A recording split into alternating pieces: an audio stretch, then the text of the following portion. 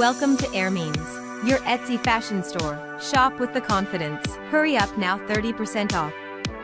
Find the link in the description.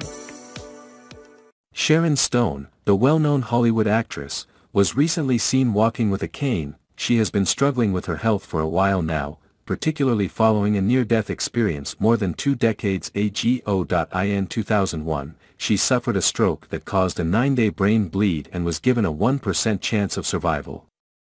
Since her brain hemorrhage, the 66-year-old actress has now quit show business, she recently spoke on Good Morning Britain about life away from the spotlight. My real first step of recovery was about seven years and that's a long time to lose your momentum. In seven years, you're no longer the flavor of the time, you no longer have box office heat, the same people you were working with are no longer in power anymore, she added. Everything changes and people don't really care about that person anymore. It's like going back to your old job seven years later, you don't just walk back into your job and think nothing's changed. I was sort of hurt that the world moved on without me.